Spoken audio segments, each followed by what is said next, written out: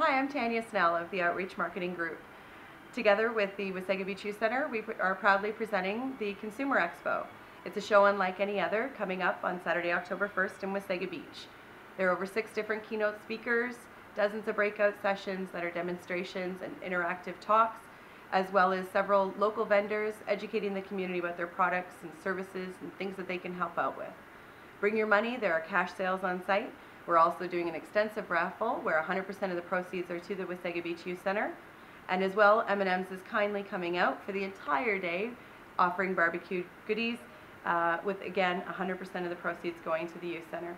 So bring your families, bring your kids. We've got a bouncy castle and a supervised kids zone, and we would love to see you there. Visit the site for more information.